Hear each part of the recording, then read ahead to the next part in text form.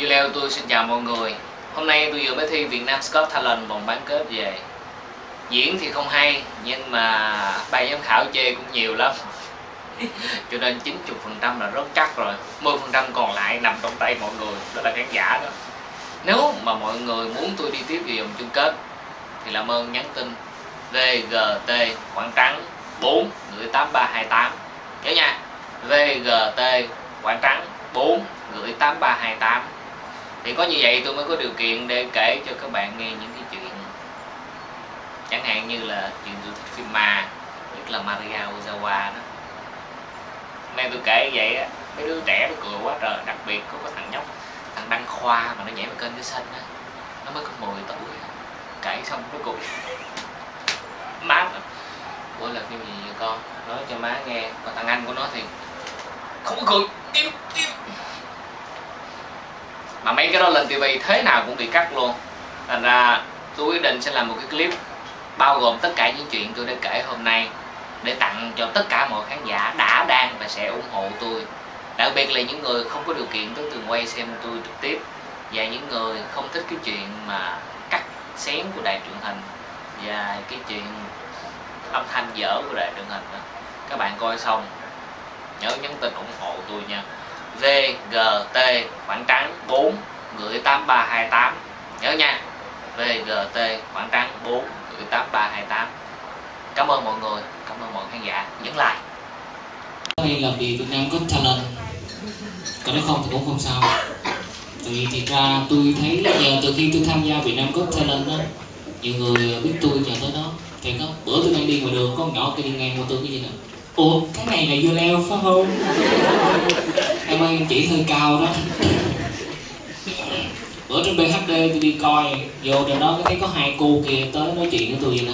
Ơ cô thích tiết mục của cháu đó đó cố gắng lên nha Dũng. Ôi trời May còn không nói thêm. Ủa hình như cháu này biết sáu thứ tiếng là phải không? Tôi coi phim Du Ký tôi thấy như uh, phim như Tây Du Ký á, những người mà như Tam Tạng nè yêu quái rồi nữ dương mà hãy mà bị ngập uh, sợ hãi hay là gì thì thường hay làm cái động tác này.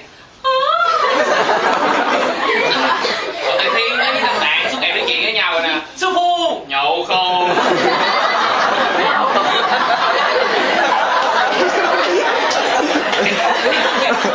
Trong phim tây du ký á thường á mà có hay có cái câu mà kêu bằng là tiếng kêu tiếng kêu cứu. Chu minh mà đi đứa nào mà kêu chu minh nga tụi nó bị thầy thiên lấy cây đập chết. Biết sao không? Chu minh nga là cha minh ngu.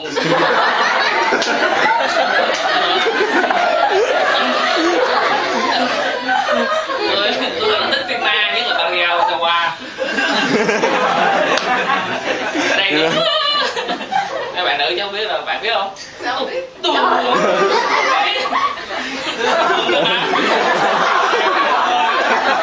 cẩn thận đó nha tại tôi tôi nói cái này xong á thì mấy bạn trai á thì thường là cười rồi bạn nữ thì ủa là phim gì vậy anh? Cái gì? Thích trong anh ghê quá anh ơi.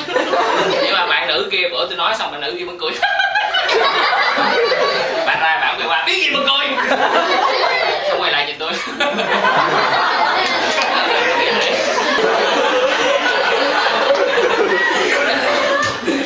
Bữa tôi coi một cái phim ở trên VTV6 một cái phim đó phải nói là một cái phim cực kỳ bá láp luôn phim về một cái con nhỏ bị câm và diễn viên trong phim nó nói chuyện với con nhỏ nó toàn vậy không nè chị nói đi.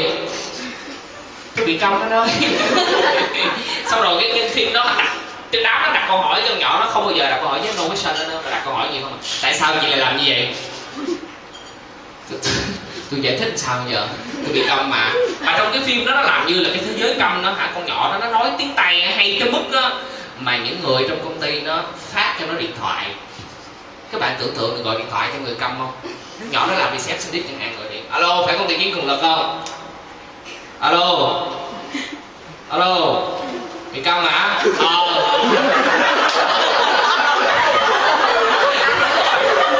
Phim nó lắm lắm rồi thì cái phim đó nó đúng là cái kiểu mẫu phim Việt Nam luôn á phim Việt Nam là sao? Vô mà cứ những cái diễn viên trong phim mà nó nói những cái câu mà ngoài đời không bao giờ xài hết kiểu như vậy nè. Tại sao cậu lại có thể làm được những điều kỳ quặc đến như vậy? Ở ngoài đời có một câu đơn giản hơn, mày khùng hả mày. Phim của mình nó vô mà diễn viên mà diễn viên phụ với mình nó toàn là diễn trật chè không à. Vô có đầu nói, chúng ta nhật pháp đã đô hộ chúng ta bao nhiêu năm nay, chúng ta cần phải đứng dậy chống lại tụi nó. Mọi người có đồng ý không? Đồng ý. còn diễn viên chính á, thì diễn viên mặt đơn anh yêu em. Em cũng yêu anh. Vậy chúng ta lấy nhau đi. Chúng ta hạnh phúc quá. Rồi diễn viên trong phim mình á giang hồ á nói chuyện không giống như giang hồ nó giống như bác học rồi đó cứ vậy nè. Tao thực sự bất ngờ trước những kế hoạch vĩ đại của nó đề ra. Tao cũng hoàn toàn khâm phục những trí óc của nó. Ê mày có chắc là tao với mày là đang đóng vai giang hồ không? Giang hồ ở ngoài khen nhau là sao má em quá mày cái đó là nhẹ nhất á giang hồ trong phim mà kênh nhau với lộn toàn vậy. Mày sao mày mày đừng có như vậy nghe chưa mày muốn vậy mày mày đừng có kỳ như vậy nghe chưa? Ở ngoài là sao bạn bạn là chứ mẹ? Tôi bị ảnh hưởng tới mức một lần tôi đang chạy xe về vũng tàu để có anh thằng chạy xe cắt mặt tôi bém té luôn. Xong cái tôi mở miệng ra thay vì tôi chửi tôi mở miệng tôi nói nè chạy xe gì kỳ vậy? Cái cha đó cho quay lại nó nhìn tôi. Rồi cha nói một cái câu này tới giờ tôi vẫn còn nhớ nữa. Coi phim việt nam nhiều lắm là phải không